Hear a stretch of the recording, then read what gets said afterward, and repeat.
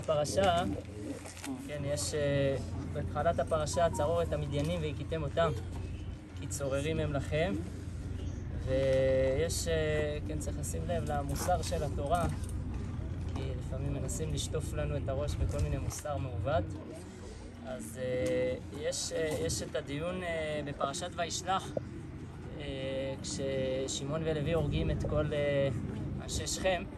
אז שם הפרשנים אה, שואלים, גם הרמב"ם, גם הרמב"ן מתעסקים עם זה, מה, מה קרה, למה, למה, למה התחייבו כל אנשי שכם אה, מיתה?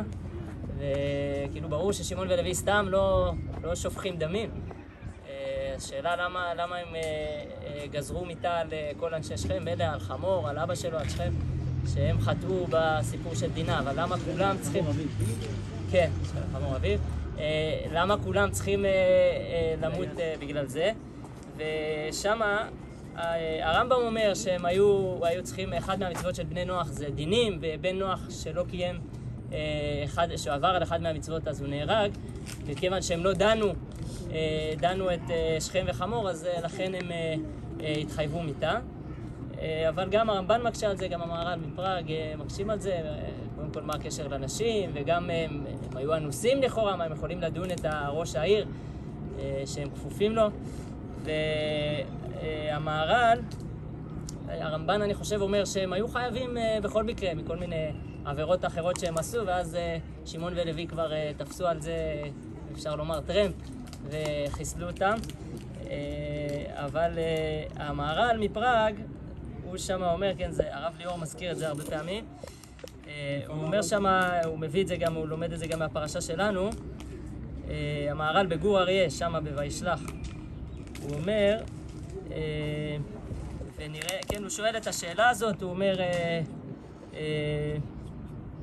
אך קשה, אם שכם חטא כל העיר מה חטאו להרוג, ואז הוא מביא את הרמב"ם ומקשה עליו, ואז הוא אומר ככה, אני אקרא את הלשון שלו, ונראה דלא קשה מידי, כאילו השאלה היא בכלל לא שאלה, משום דלא דמה שני אומות, כגון בני ישראל וכנענים, שהם שני אומות, כדכתיב והיינו לעם אחד, ומתחילה לא נחשבו לעם אחד, כאילו רואים בדין ודברים של, אה, של, אה, של אה, שמעון ולוי עם אנשי שכם, שהם מחשיבים את עצמם כבר כעם, כן, הם לא רק בני יעקב, הם אומרים להם, נתחתן ביחד והיינו לעם אחד, כן, החשיבו את, גם, גם השכנים שלהם, אנשי שכם, מחשיבים אותם כעם, ולכן הוא אומר, אה, אה, אם זה כגון בני ישראל וכנעניים שהם שני אומות, כדכתיב היינו לעם אחד, ומתחילה לא נחשבו לעם אחד, ולפיכך הותר להם ללחום כדין אומה שבאה ללחום על אומה אחרת, שהתירה התורה.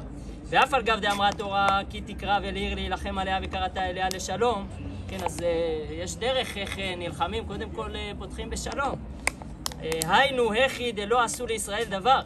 כשהם לא עשו כלום, אז אתה, אתה בא לכבוש, אתה רוצה להרחיב את הארץ או משהו כזה, אז תפתח בשלום. אבל הכי דעשו לישראל דבר, כגון זה שפרצו בהם לעשות בהם נבלה, אף על גב דלא עשה רק אחד מהם.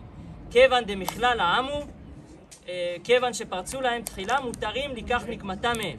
והכנה מכל המלחמות שהם נמצאים, כגון צרורת המדיינים, כן, שזה מהפרשה שלנו. אה, אף על גב דהיו הרבה שלא עשו, אין זה חילוק, כיוון שהיו באותה אומה שעשו להם רע, מותרים לבוא עליהם מלחמה, וכן הם כל המלחמות. אז אומר המהר"ל, בכלל לא שאלה, ברגע שהם שייכים לאותה אומה שפגעו בעם ישראל, שבאו על עם ישראל והיכו בהם, ו- ואז, אז לא שייך לשאול לשלום ולא שייך לדון מי, מי, פה הוא, מי פה פשע, מי פה לא פשע. אה, כן, היום אנחנו התרגלנו למושג, אם הם חפים מפשע, לא חפים מפשע, הם, הם סייעו, הם היו חלק מהזה. הוא אומר, זה בכלל לא, לא, בכלל לא דיון.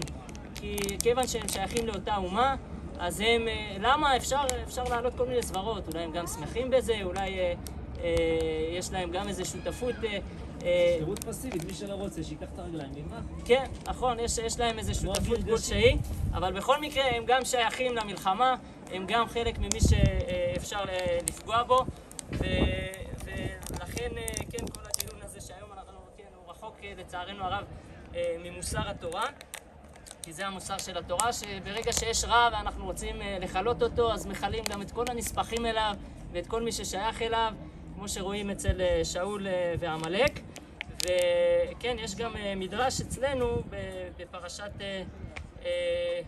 בפרש, במדרש רבה, על פרשת פנחס, שגם כן הוא מדבר על זה. כן, אנחנו רגילים שדוד המלך הוא זה שאף פעם אה, לא, לא יודע, לא נפל בזה, הוא תמיד וימדדים בחבל, הוא, הוא ידע איך אה, אה, להתאכזר על הרשעים האלה, אה, על הרשעים שנלחמו איתו, ובלי רחמים בכלל, אבל המדרש אצלנו, בפרשת פנחס, באות ה' הוא אומר ככה, צרור את המדיינים, אף על פי שכתבתי כי תקרא אל עיר להילחם עליה.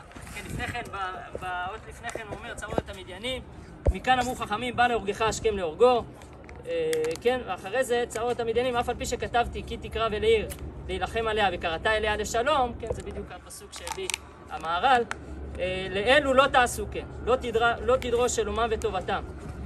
את מוצא במי שבא עמהם במידת רחמים, לסוף בא לידי ביזיון, אה, מלחמות וצרור. כן, כן, אתה, אלה אסור לדרוש את שלומם וטובתם, ומי שלא עשה את זה, הוא בא לידי ביזיון. ומי זה, אומר המדרש, ואיזה זה? דוד. דוד המלך הוא אה, דרש בשלומם ובא לידי ביזיון. אה, כן, שכתוב, ויאמר דוד, אעשה חסד עם חנון בן נחש, כן, שהוא הציל את אח שלו, כשמואב, אה, הוא שם את המשפחה שלו אצל מואב, כשהוא ברח משאול, אז מואב, מלך מואב הרג אותם את כולם, ואח שלו ברח, הוא ברח לנחש. אז, אז דוד המלך אומר, כן, אני אעשה איתו חסד. אמר לו הקדוש ברוך הוא, אתה תעבור על דבריי, אני כתבתי לא תדרוש שלומם וטובתם. ואתה עושה עמהם גמילות חסד? אל תהי צדיק הרבה, שלא יהיה אדם מוותר על התורה. כן, אל ת- תעשה חסד עם הרשעים האלה. יותר ממה שהתורה אומרת. התורה אומרת אל תדרוש שלומם וטובתם, אז אל תדרוש. אה, וזה שולח לנחם בני עמון ולעשות עמו חסד, סוף בא לידי ביזיון. וזה מה שכתוב, ויקח חנון את עבדי דוד ויגלה חצי, את חצי זקנם ויכרות את מדוויהם בח, בחצי עד שתותם וישלחם. ובא לידי מלחמה עם ארם נהריים ומלכי צובא, כן זה גם גרר מלחמות אחרות, ומלכי מעכה ועם בני עמון, ארבע אומות. ארבעה אומות. וכתיב, וירא יואב כי הייתה אליו פני המלחמה. מי גרם אה, לדוד כך? שביקש לעשות טובה עם מי שאמר הקדוש ברוך הוא לא תדרוש שלומם, לכך כתיב צרור את המדיינים. אז אה, זה ציווי כאילו לצרור ולזכור להם את הרשעות שלהם ולא לרחם עליהם אף פעם.